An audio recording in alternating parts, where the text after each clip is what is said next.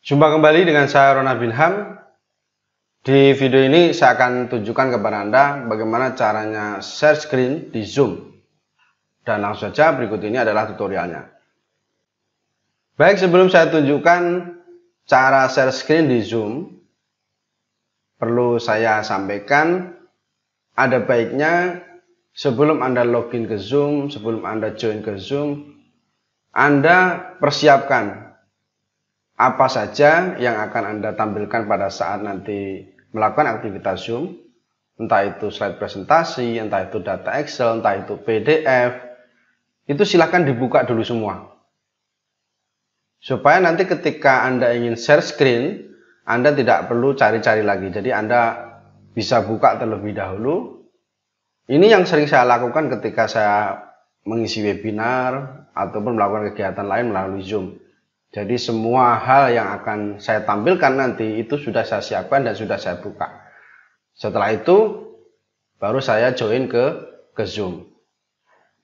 Nah, setelah kita sudah join ke Zoom dan kita ingin share screen, Anda bisa klik tombol share screen di bagian bawah ini ya. Share screen, Anda klik saja. Kemudian akan muncul jendela pop-up seperti yang Anda lihat ini.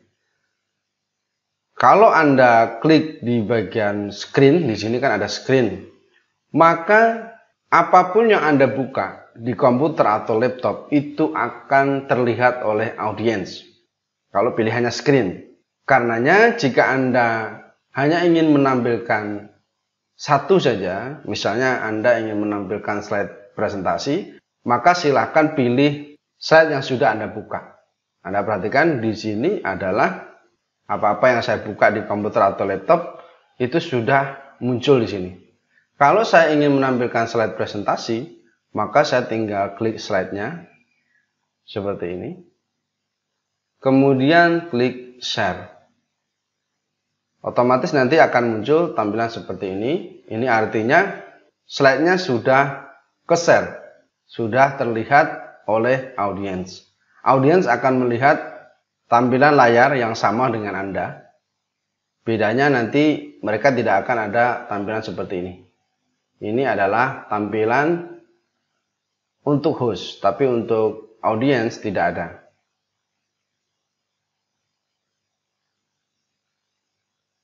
Kalau Anda ingin slideshow, nanti Anda bisa klik di sini slideshow. Jadi Anda bisa melakukan presentasi dengan menampilkan slide presentasi Anda. Dan di sini perlu saya infokan juga, Anda bisa juga mencoret-coret tampilan slide Anda. Anda klik di bagian sini. Di sini Anda perhatikan ya. Ada menu-menu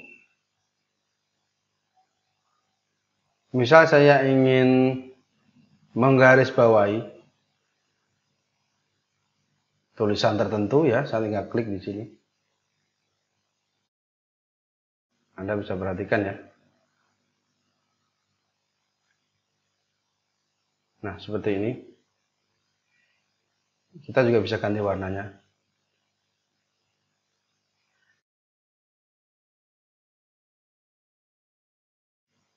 Kalau misalnya kita ingin menghapus, kita klik pilihan penghapus ya. Kemudian kita klik pada garis, otomatis terhapus. Jadi silakan nanti Anda ekspor. Kalau ingin disimpan, silakan klik di sini, simpan.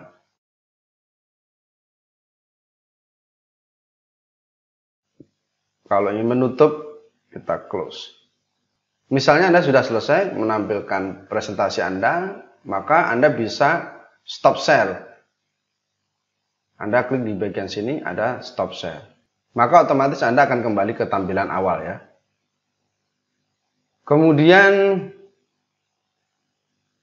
misal Anda ingin membuka halaman website bisa. Ya, pastikan halaman websitenya sudah Anda buka sebelumnya. Contohnya seperti ini, kita tinggal klik saja kemudian share.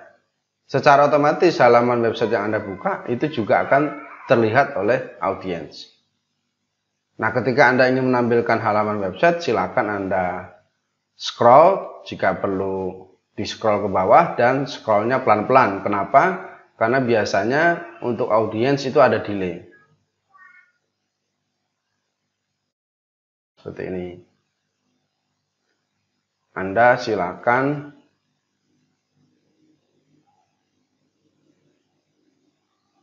geser pelan-pelan.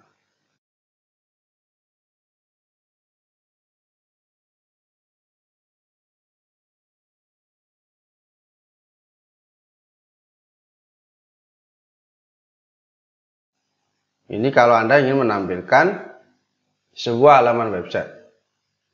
Jika sudah, misalnya Anda ingin kembali, Anda ingin menutup share screen-nya, Anda klik di bagian sini, stop share. Kemudian Anda juga bisa membuka atau menampilkan halaman PDF. Di sini saya sudah membuka halaman PDF, klik kemudian share.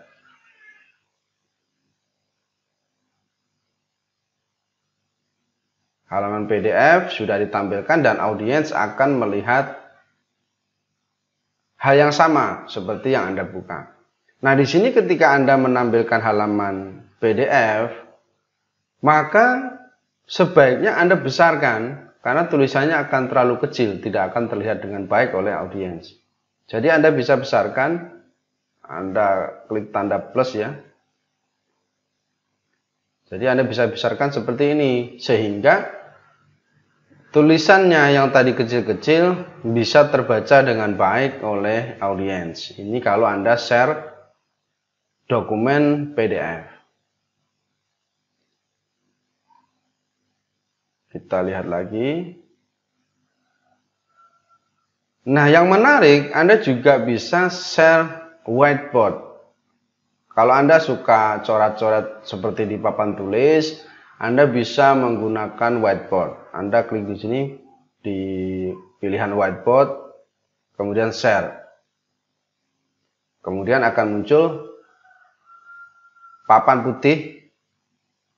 Whiteboard ini tentu sangat menarik untuk teman-teman atau untuk Anda yang suka menjelaskan sesuatu dengan sketsa sederhana atau seperti menulis di papan tulis. Saya kasih contoh. Misal ingin menjelaskan tentang sebuah proses ya, kita bisa buat sketsa sederhana Misal seperti ini. Ini hanya contoh saja.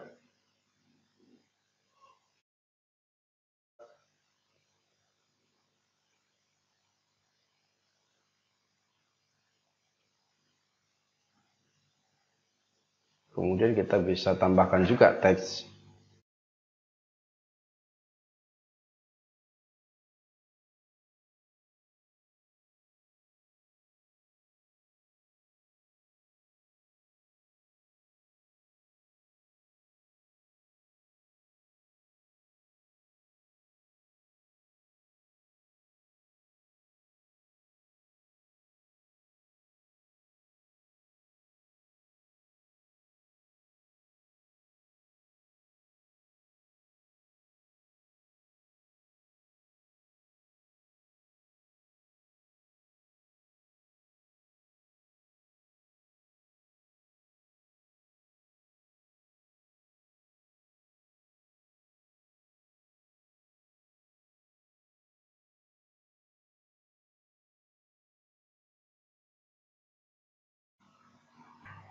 Anda juga bisa menghapus ya.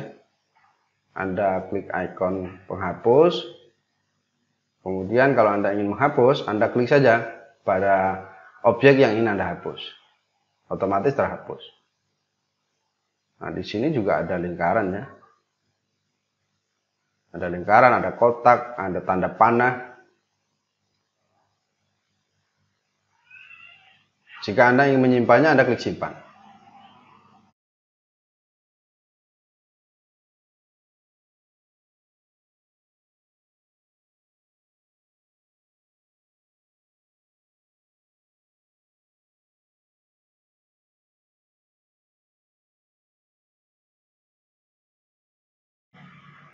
Ini kan fitur basic ya. Kita juga masuk ke fitur berikutnya.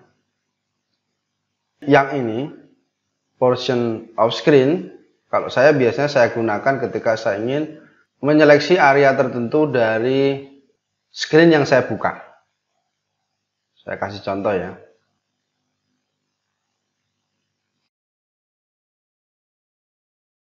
Dan perlu Anda ketahui pada saat Anda menggunakan fitur ini, maka secara otomatis apa yang ada di dalam kotak warna hijau itu akan terlihat oleh audiens.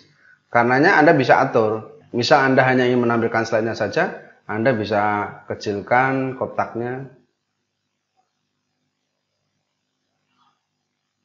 seperti ini.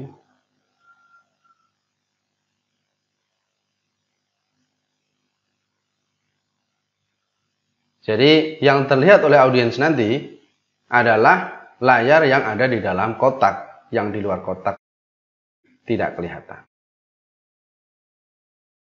Jadi Anda bisa manfaatkan untuk keperluan Anda.